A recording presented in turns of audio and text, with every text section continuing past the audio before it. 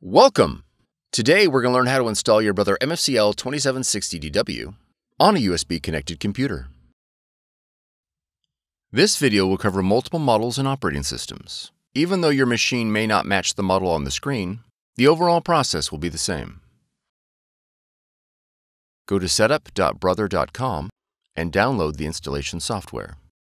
Navigate to your installer file and double-click to begin installation.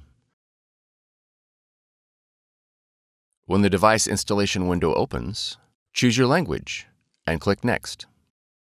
Review the license agreement and click Accept to continue. Then click Next. Now enter your model number and then click Next. Select Wired Network or USB and then click Next. When prompted, connect the machine to your computer with a USB cable. Cable links over 6 feet are not recommended. Verify that your machine is powered on. Once the cable is connected, click Next. Verify that your brother machine is selected and click Next. Select Standard Installation and then click Next.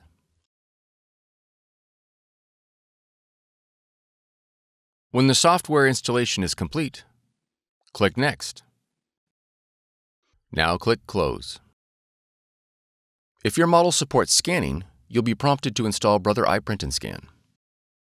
To install, review the license agreement and click Accept to continue, and click OK. Click Select your machine.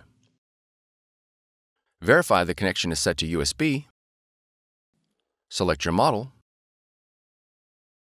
Then click OK. Click OK again. All the functions your machine supports will be displayed in the iPrint and Scan window. You are now ready to scan and print.